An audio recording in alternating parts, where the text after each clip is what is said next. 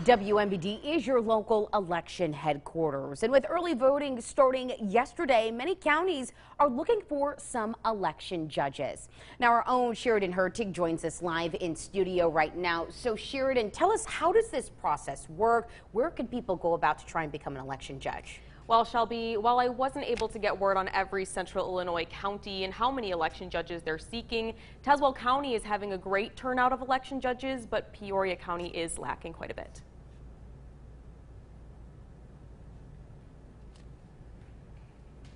registered voter and uh, 18 by election day, uh, which is the requirement to be a registered voter. So, yeah, just a registered voter living in the county. With only two solid requirements to be an election judge, you'd think it would be fairly easy to find people who would like to participate.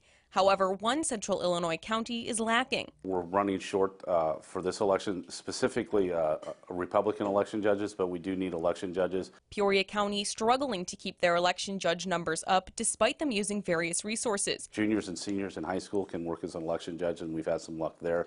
But we're also doing just outreach to the general public to, to be election judges. Thomas Bride, executive director for the Peoria County Elections Commission, says COVID 19 has affected the amount of election judges they get among other reasons. We don't have elections in June, and, and I think people have summer plans, and, and um, that may be affecting our, our the ability to get judges, some of them who have worked in the past who aren't working now. Tazewell County Clerk John Ackerman is seeing the opposite. We've had a, a great outpouring of support for election judges. Um, we constantly ask for volunteers, promote it. Um, Right now, we're setting fine. Each polling location requires three to five election judges, and Tazewell County and Peoria County judges make $165 on election day. Both Peoria and Tazewell County have training videos online, but with new paper ballots in Peoria, election judges need two hours of hands on training to get used to the new equipment.